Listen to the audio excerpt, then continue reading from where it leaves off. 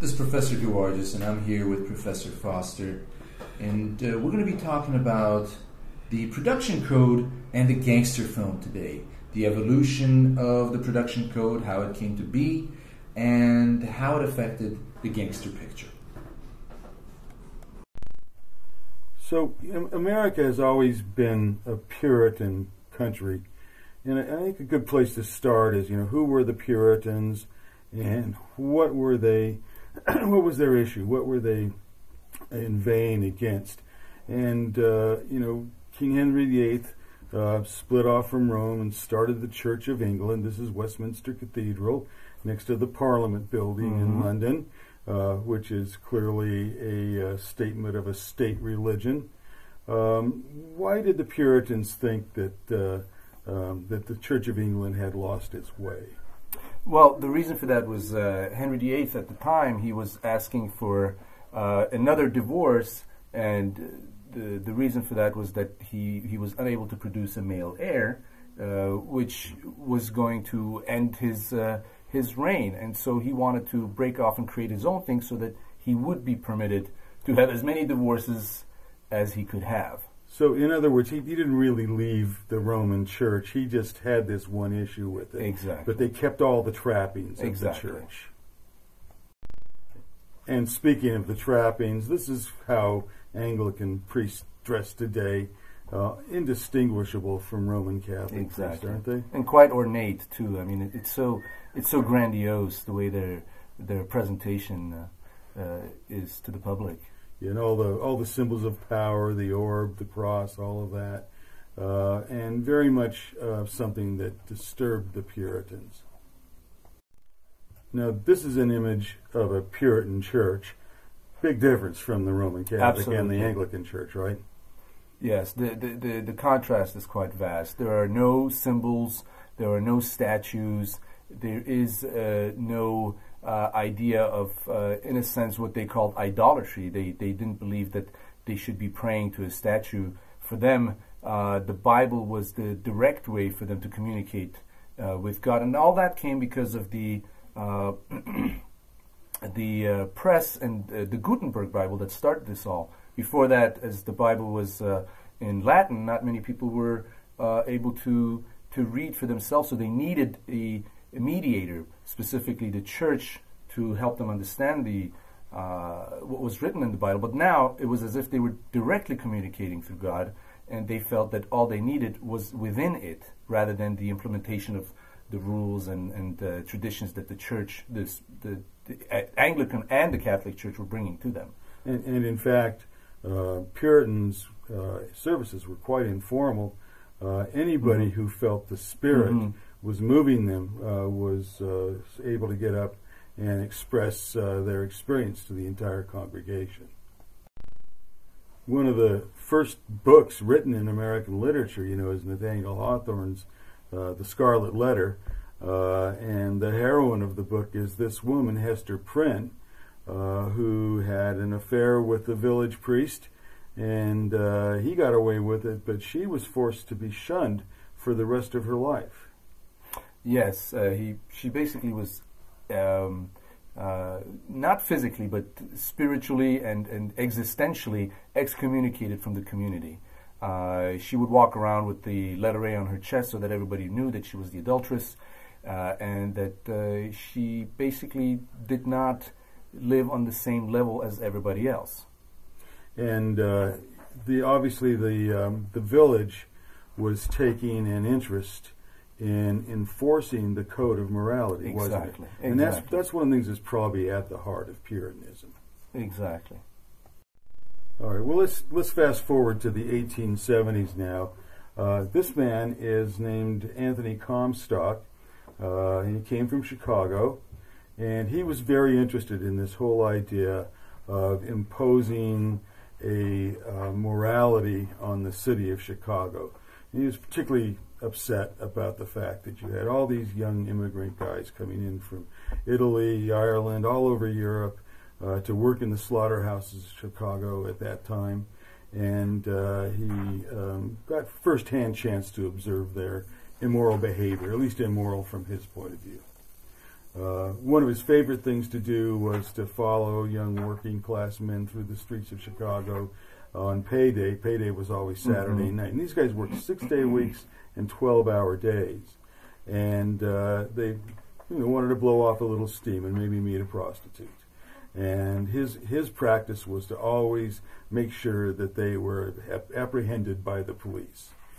So Anthony Comstock, though, became a leader of a, a organization that kind of crosses the lines between church and laity, and that's something he uh, got the Chicago churches to agree to take a part in, right? That's correct, and uh, he he became eventually became the uh, uh, postmaster general, where he was in charge of uh, what was being circulated through through the post. In essence, the uh, the, the the Comstock laws of 1873 uh, stated that any obscene material, which was open to interpretation, but most of it dealt with anything that had to do with uh, abortion and things like that, were not permissible to be circulated through uh, through the post.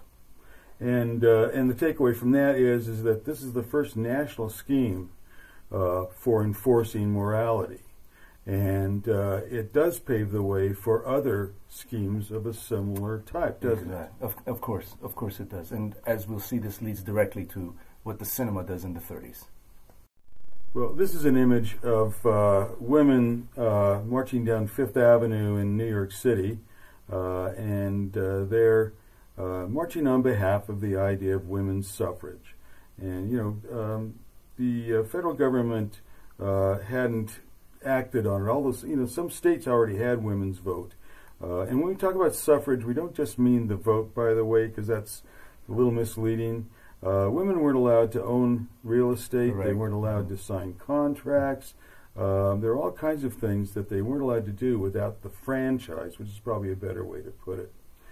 Uh, and uh, so now we're in the 1920s, uh, and um, a million people, by the way, watched this demonstration on Fifth Avenue.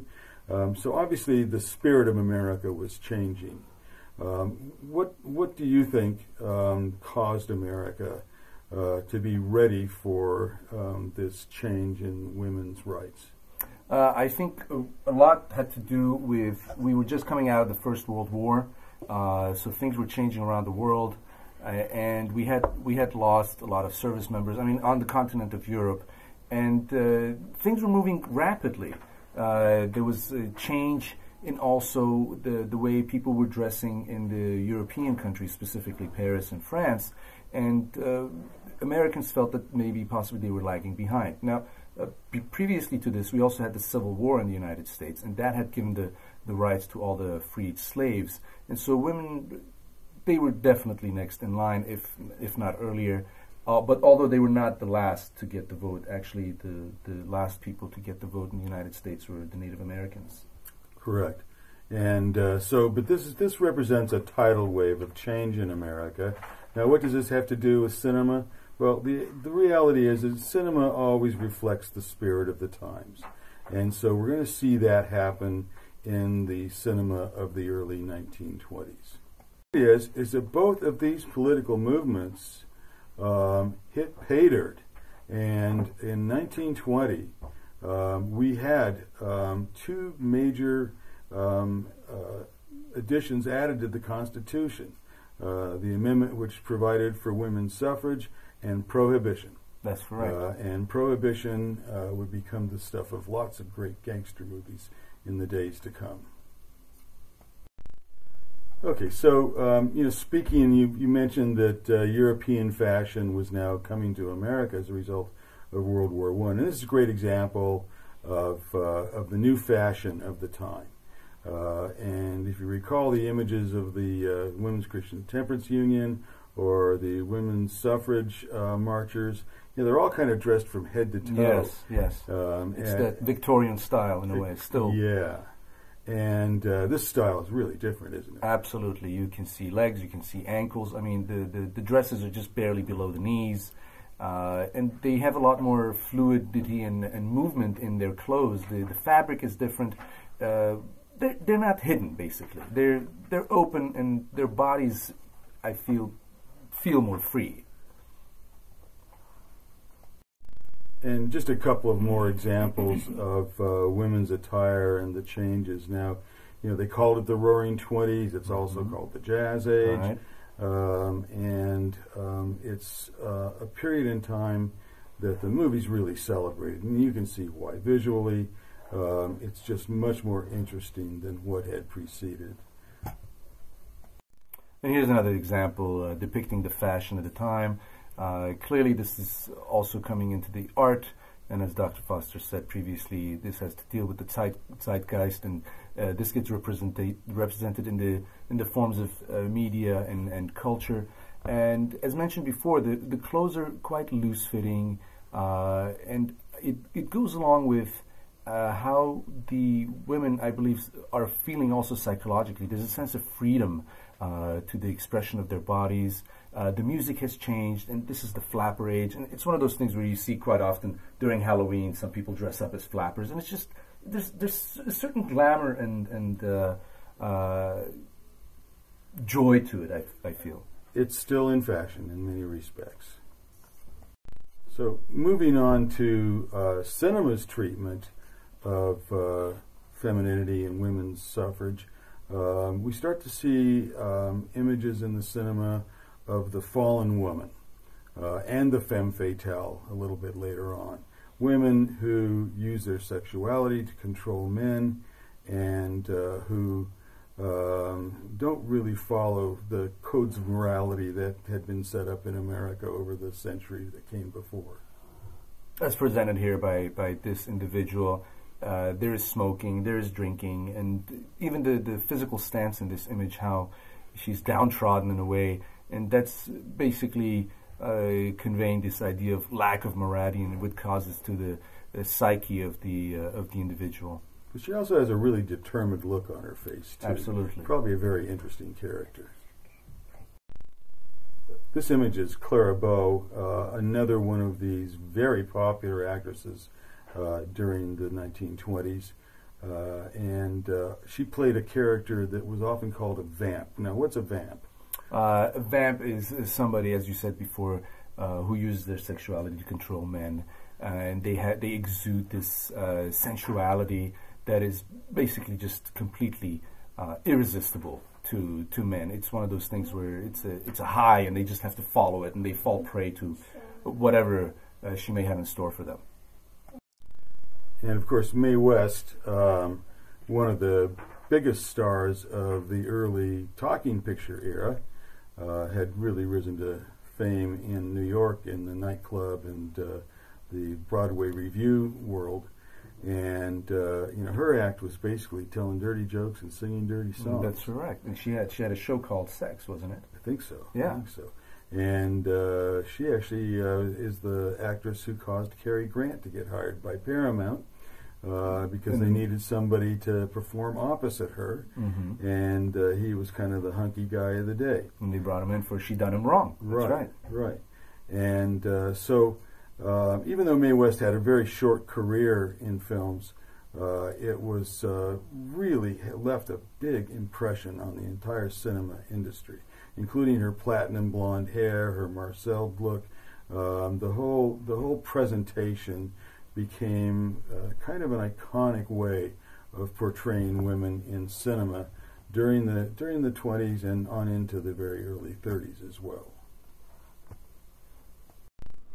Pictured here is Will Hays, and uh, he was hired to be the commissioner overseeing uh, the idea of what the content of a movie was going to be after a very big scandal that we've already talked about. Right, Roscoe Fatty Arbuckle, uh, 1921. Uh, in December that year, um, Marcus Loew and uh, um, the uh, head of Paramount, Adolf Zukor, uh, got together and decided that they should do what baseball had done a couple of years previously. Uh, in 1919, the Chicago White Sox um, uh, at the uh, behest of a famous gambler named Arnie Rothstein threw the World Series. Uh, they hated the team's owner, uh, Comiskey, uh, and uh, who was a total cheapskate. They, when they were on the road, they stayed at crummy hotels. They didn't eat well, and so when Rothstein pitched them on the idea of throwing the World Series, they were all in. Well, the problem is it came out. One of the players, Shoeless Joe Jackson, uh, was a real Christian kid, and he just just his conscience got the best of him, and he let it be known what they had done. Uh, and to respond to it, uh, the baseball um, owners got a guy named Judge Kennesaw Mountain Landis to be the first commissioner of baseball, and he was given carte blanche uh, power to clean up the game no matter what that meant. And uh, so uh, he, which he did. Uh, and uh, so the movie business now is looking for somebody who can do that for them, although they don't really want to give any power away, and they're making a lot of money making movies that are somewhat questionable. Right, so they replicated the same system that the uh, baseball league was uh, using, and so, as you mentioned, they gave the bully pulpit an empty nest to this man named Will Hays. Right. Will Hayes had been the postmaster general during the Warren G. Harding administration, and uh, he um, was uh, considered to be pretty impeccable in terms of his credentials. And so they set him up with a big office and a big salary. Uh, his office was on Broadway in New York City, halfway between the Paramount building and the Loews building, uh, which means that both guys could keep an eye on him. And uh, they encouraged him to talk all he wanted to about how good and clean the movies are since he's gotten his job, but they don't give him any real power. So Will Hays, while he was in power of the MPPDA, the Motion Picture Producers and Distributors Association of America, uh, it was just a, uh, a uh, facade, really. He wasn't really doing much. And so this takes us all the way to 1934 when uh, the Catholic Legion of Decency comes with an ultimatum to Hollywood saying, you need to actually control the content because nothing's changed since the, since the implementation of Will Hays into the system. And so we bring into the picture Joseph Breen. Now, Joseph Breen had been uh, involved in the Catholic Church. He was the president of the Knights of Columbus, which is a men's fraternal organization within the church. He also was the head of PR for the Peabody Mining Company, uh, owned by the Rockefeller family. Uh, and uh, he had uh, uh, one of the things that they had done was they had called in Pinkerton detectives to break up a strike, and uh, the detectives set up 50 caliber machine guns and mowed down the picket line, including women and children. And he was the guy that had to explain why it was necessary to do this. So he was kind of a thug himself, and he's put in Hollywood in charge of enforcing a code of censorship that had been created uh, actually by, for the Archbishop of Chicago in 1930. And all in the name of morality so that we would prevent uh, movies from lowering the standards of, of uh, uh people. Now, we're going to talk about some of these uh, rules that they had to come up with. Now, this image here is not the rules that were put down by uh, the censorship. This is, in fact, a image satirizing the rules and trying to break them. Now, what were the rules? One of the first ones is no methods of crime or sympathy for criminals. Right, and uh, probably aimed at the Warner Brothers, who basically geared up to be making uh, gangster movies when they hired James Cagney and Edward G. Robinson. Uh, and uh, so let's talk about a few of the rules. Uh, that's the first rule, by the way, is the anti-gangster gangster movie rule. Uh, just about every other thing has to do with the things that uh, were criticized about the movies, such as um, the uh, movies that had um, portrayed people who were having adulterous relationships. Uh, you know, by the end of the movie, the man's got to lose his fortune and the woman has to die, preferably giving birth to their bastard child. Right. The depictions of sex have to uphold the sanctity of marriage and uh, also about um, the whole idea of what can you put on screen in terms of uh, shooting a scene of passion. Uh, and uh, you know the Hollywood studios, they were the ones that had to figure out what these rules meant. By the way, there was no guidance on them, and uh, so uh, this means a new kind of kissing scene uh, where we're going to uh, basically film people from the shoulders up. So no matter what their hands are doing, it's not visible to the audience. Uh, everybody's tongue has to stay home, and a kiss can't last longer than five seconds. And so, literally, kissing scenes kind of disappeared from the movies uh, for several years. And uh, another one was delicate locations. Correct. And Hollywood took that to mean bathrooms and bathtubs. And so we don't see any uh, bathrooms for quite some time, not until we see the very first one in 1960 in Alfred Hitchcock's Psycho. So it was a big moment when we see a toilet being flushed with paper in it, by the way. And it was like, whoa, there's a toilet on screen. This is crazy. and uh, also, bedrooms were considered a delicate location. Uh, and so, uh, if a married couple is portrayed as sleeping together at all, they have to have twin beds. And uh, most often we see married couples sleeping in separate bedrooms because it's just easier to deal with that. And uh, so um, that's just some of the many applications. There are about 20 in all. Uh, and um, they were really behind times when they were put in place for the first time. But Joseph Breen, uh, every script had to be submitted to him before it could go into production and every finished film had to be submitted to him again to make sure people hadn't cheated on the code. And so he had a stranglehold on the business for a long time, really until 1942, when the Office of Wartime Information is created uh, in support of World War II. And uh, they create another office in Hollywood called the Bureau of Motion Pictures, and now every script has to be submitted to the BMP before it's submitted to Joseph Breen. So now, if you find something objectionable in a movie um, after the BMP has looked at it, it's going to seem anti patriotic. And so he starts to become very careful about what he does. And uh, the production code had stayed in, uh, in effect um, really uh, until the mid 50s, although Will Hays retired at the end of World War II in 1945. Uh, and uh, the uh, one of the main Supreme Court decisions that made censorship possible, uh, the Mutual versus Ohio decision in 1915, was overturned in 1952 by the Burstyn v. Wilson decision, uh, which does something really strong because they invoke uh, the Near versus Minnesota decision from 1932, uh, which uh, says that you can't uh, use prior re- restraint in restraining the movies from censorship. So, in other words, uh, submitting a script to Joseph Breen uh, breaks this prior restraint.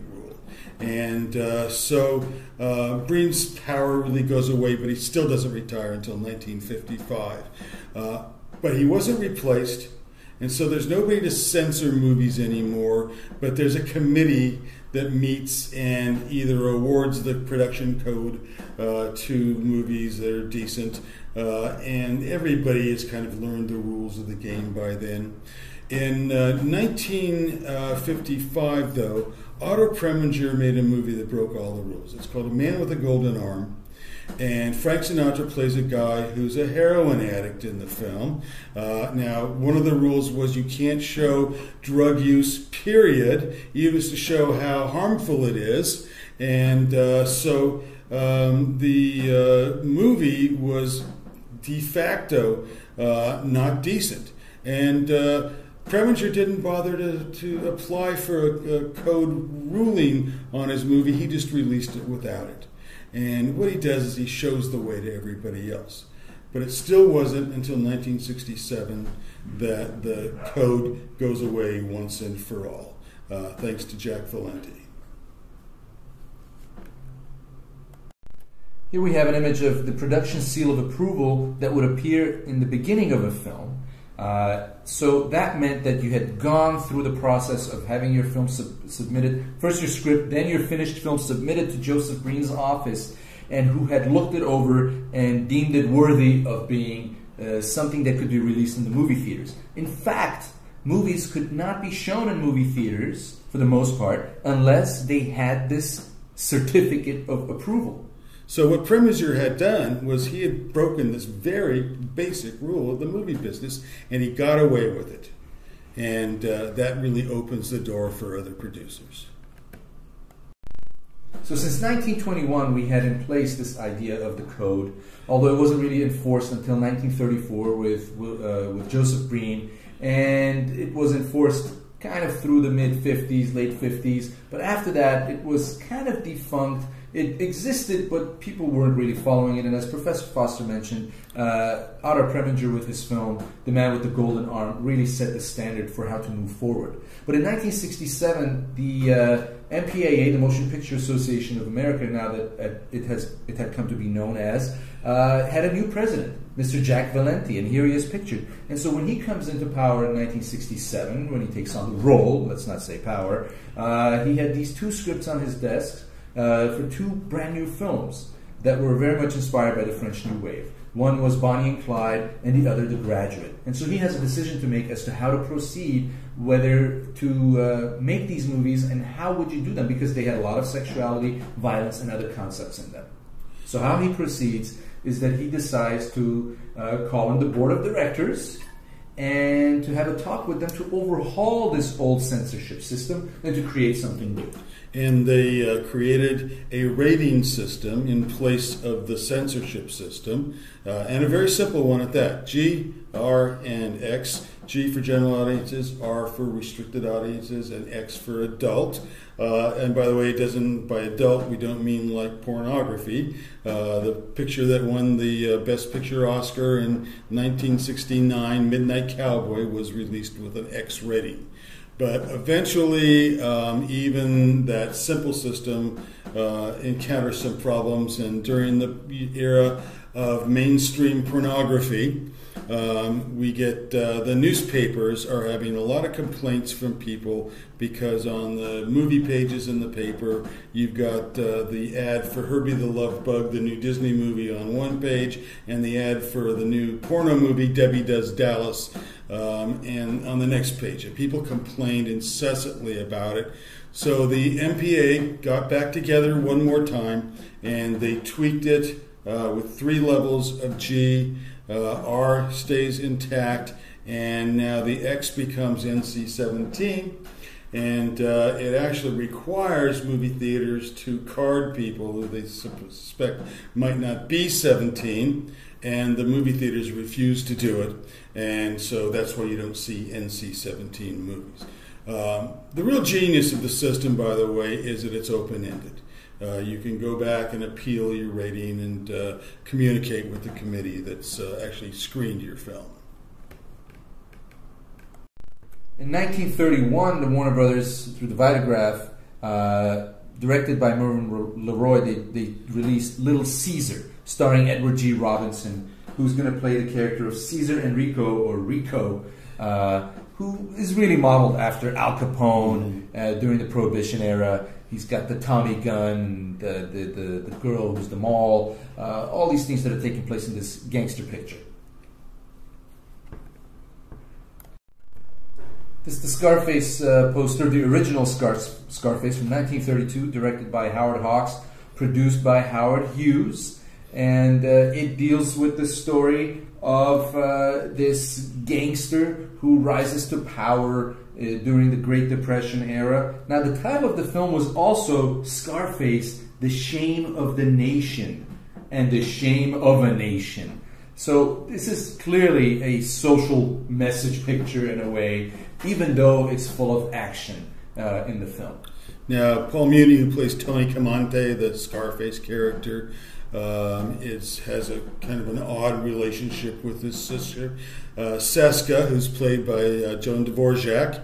Uh, and uh, there's a lot of like, uh, kind of like what I would call sexy behavior in the film. George Raft, by the play, way, plays uh, Tony Camonte's sidekick in the movie, and it's just a really good gangster. It's got a great uh, drive-by shooting sequence. Oh yeah, uh, that has been emulated quite often.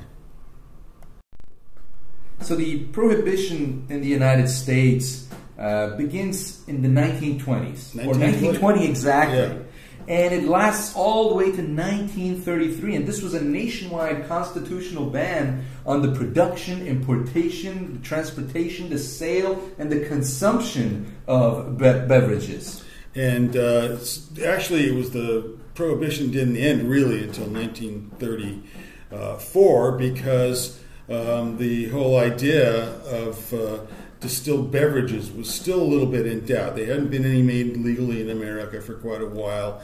Uh, and uh, so that had to get sorted out. So it was really about halfway through 1934 that uh, you can legally buy a bottle of whiskey in America and consume it. Uh, and uh, that was America's one big experience with trying to uh, constitutionalize morality, and it was a colossal failure.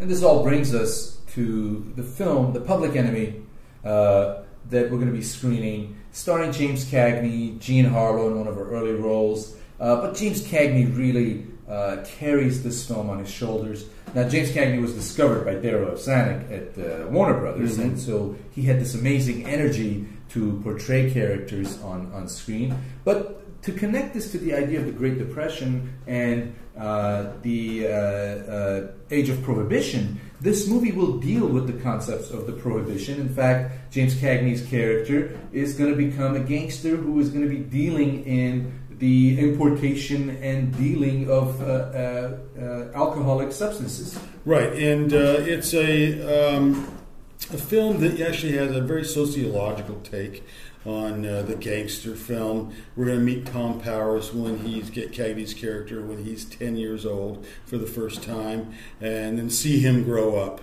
uh, on screen. And uh, so it's a uh, it's a film that's meant to really deal with this issue of you know what makes these people so um, you know so um, ruthless in their uh, constitution in their actions.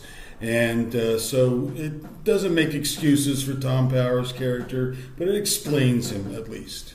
Right, the idea that hoodlums are are uh, created, not born. Uh, and uh, just a small note here: this is the example of one of the Warner Brothers pictures in the gangster genre, and this is the kind of film that the production code was going after to uh, to nail films like this, so that they would not be produced because they felt that they were eroding the morality of American youth.